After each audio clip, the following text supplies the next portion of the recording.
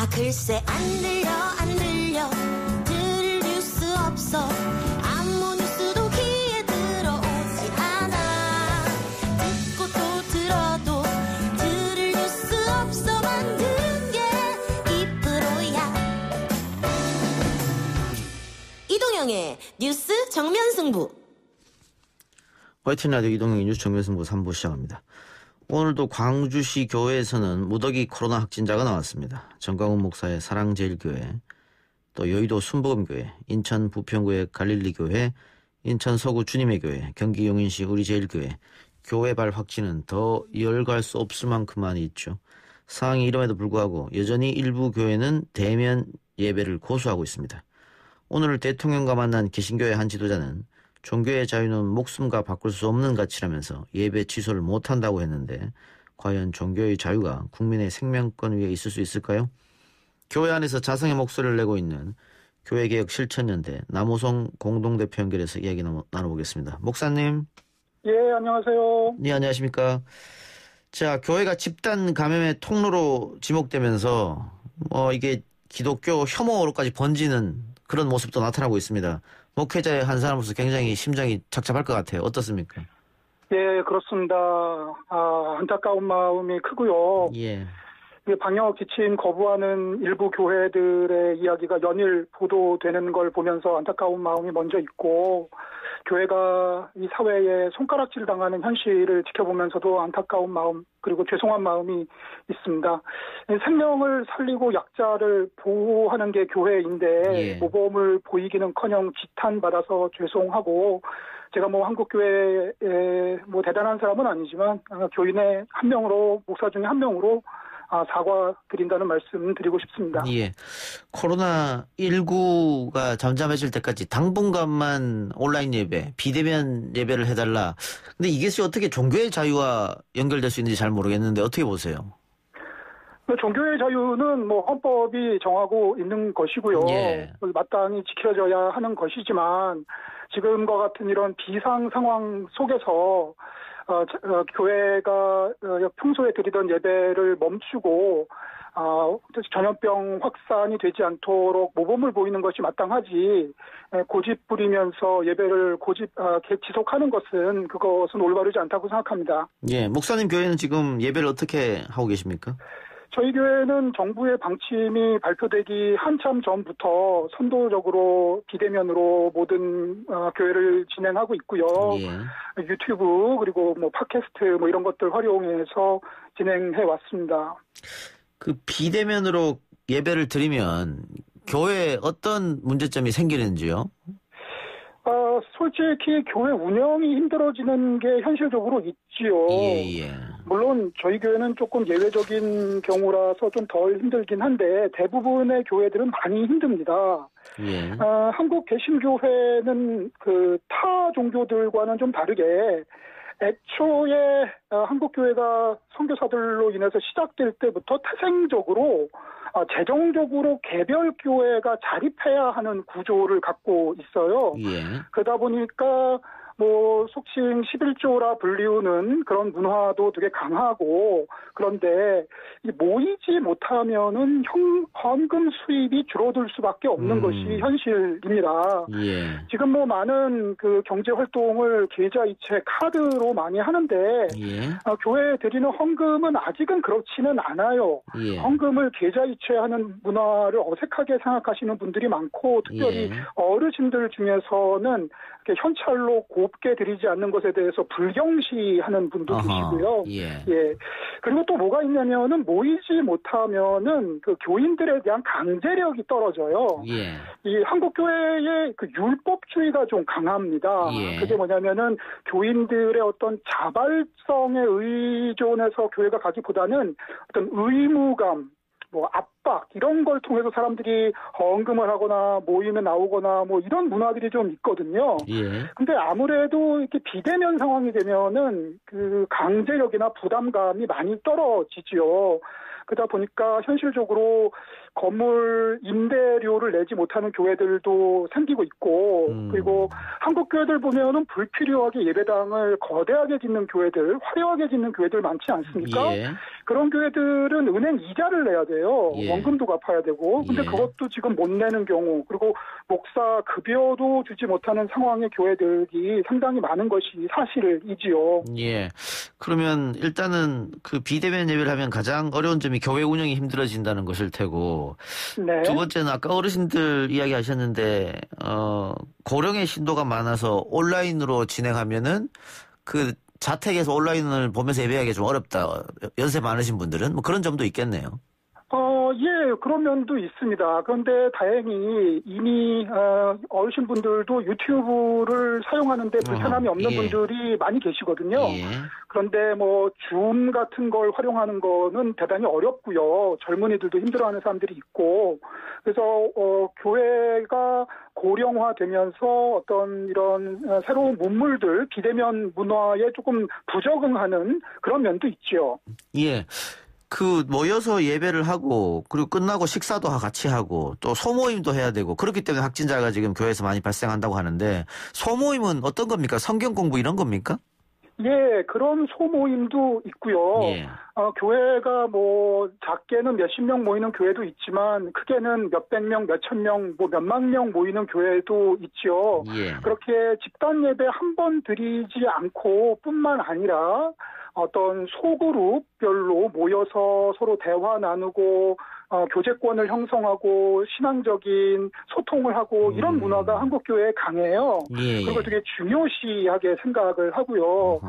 그래서 어떤 뭐 성경 공부를 한다든가 아니면은 서로 대화하면서 그런 전염이 많이 일어나죠. 예. 근데 최근에 또 광주에 있는 교회에서 확진자들이 많이 났는데 그 방역 당국에서 역학 조사를 했는데 이게 거짓말을 해서 네. 이게 더 좀 어려운 상황에 빠졌거든요.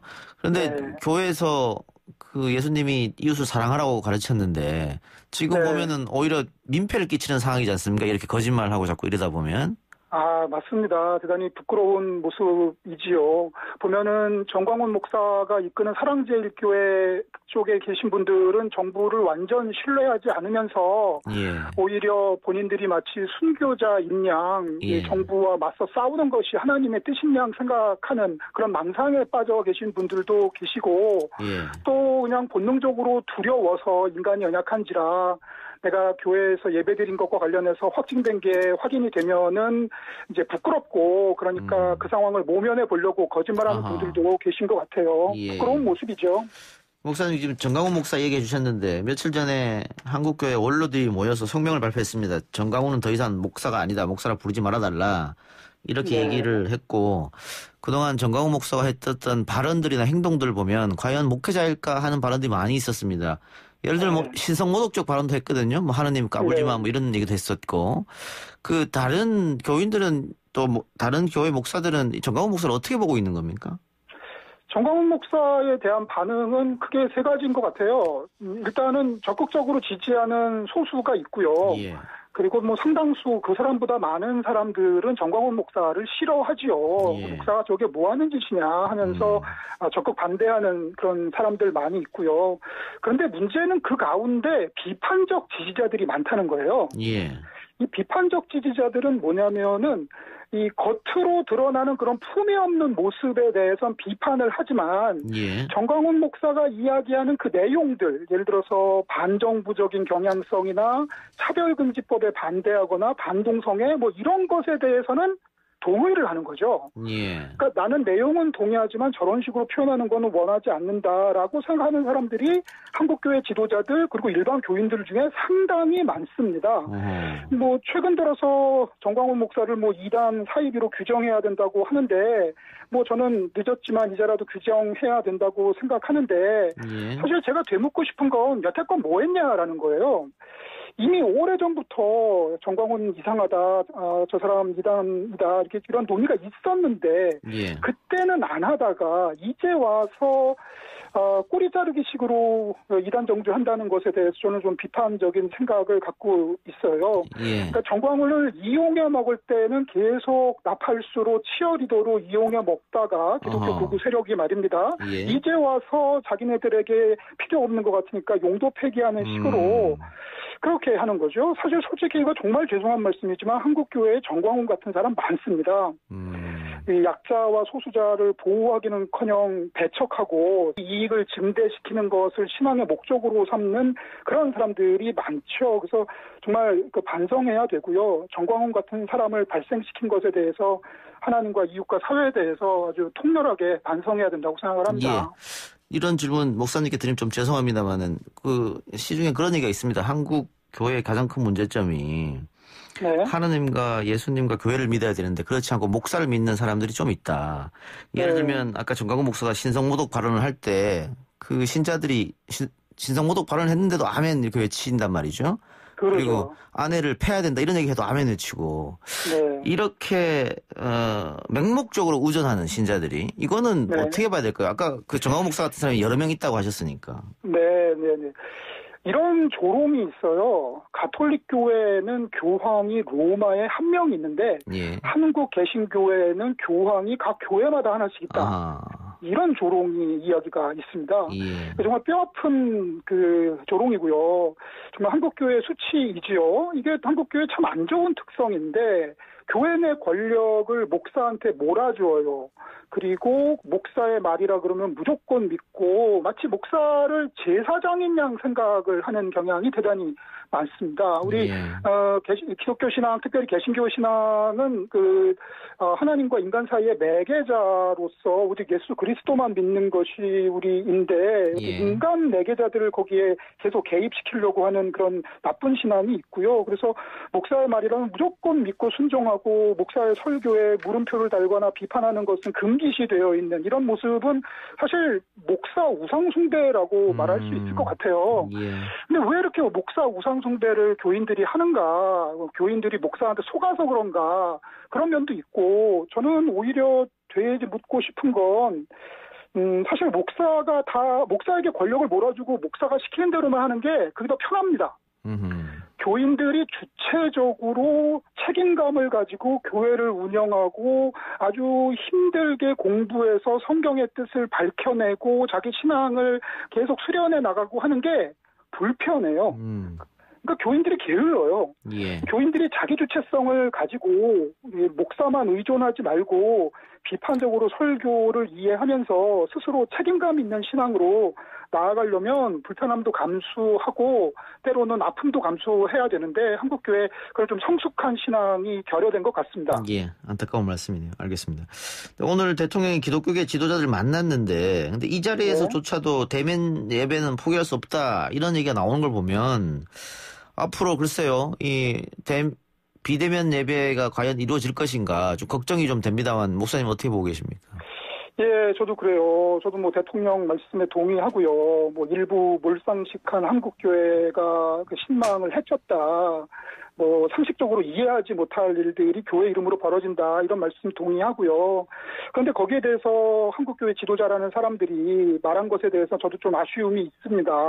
이런 얘기 했더라고요. 뭐 교회의 특성을 이해해 달라. 예. 종교 단체를 사업장으로 취급하지 말아 달라. 막 이런 얘기 하는데 사실 또 되묻고 싶은 게 교회가 먼저 자기 이익을 앞세우면서 종교의 자유 빙자하면서 스스로 먼저 사업장 행세를 한 게 아닌가 음. 그런 반성을 해야 된다고 생각합니다. 예. 자기 기득권을 내려놓고 어, 중요하게 생각하는 예배마저도 포기하는 헌신적인 희생적인 자세를 보여야 되는데 그걸 챙기려고 그걸 끝까지 가져가려고 하는 모습이 저는 오히려 부끄러운 모습이라고 생각하고 뭐 정부의 바람이 있다면 그 지금 한국 교회의 그 방역 지침 참 잘 지키는 교회들 참 많고요. 예. 그리고 어, 그, 그렇게 중요하게 생각하는 예배를 희생하면서 방역에 협조하는 교회들도 많으니까, 어, 한국 교회가 좀 매도되지 않고, 예. 함께 좀 건강하게 이 위기를 극복했으면 좋겠습니다. 예.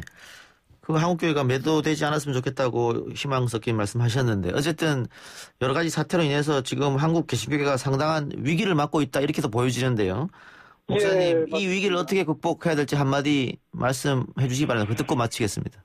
예, 일단 그 어, 방역 차원에 있어서는 어, 교회가 방역 당국에 잘 협력하면서 어, 그 모범을 보여 보여야겠죠. 그래서 사회적 책임을 감사 감수하면서 약자와 소수자 배척하지 말고 보호해야겠고요. 아마 코로나 시대의 교회는 전혀 다른 교회가 되어야 될 겁니다. 과거에 모였던 시대로 돌아가려고 하기보다는 미래에 이제 모이지 못하는 시대에 어떻게 할 건지 교세가 약화되는 시대에 어떻게 할 건지 좀 고민해야 될 거고요. 이, 이, 그럴수록 우리의 신앙의 본질을 되새기면서 예수님이 뭐라고 말씀하셨나 하나님과 이웃을 사랑하라고 하지 않았나 사회 공공선에 기여해야 되지 않는가 이렇게 어, 반성을 해야 될 것 같습니다.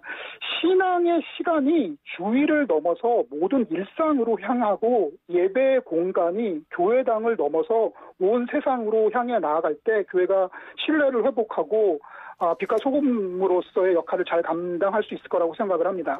예, 목사님 오늘 인터뷰 감사합니다. 예, 감사합니다. 예, 지금까지 교회개혁 실천연대 공동대표 남호성 목사였습니다.